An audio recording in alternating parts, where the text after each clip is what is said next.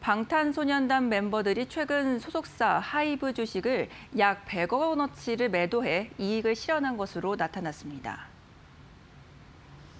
오늘 금융감독원 전자공시 시스템에 따르면 BTS 멤버 진과 제이홉, RM은 지난 10월부터 11월 초까지 하이브 주식 총 99억 4,983억 원어치를 장내에서 매도했습니다.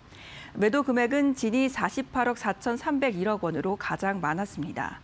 하이브의 최대 주주인 방시혁 의장은 지난해 회사 상장에 앞서 BTS 멤버 7인에게 보통주 총 47만 8,695주를 균등하게 증여한 바 있습니다.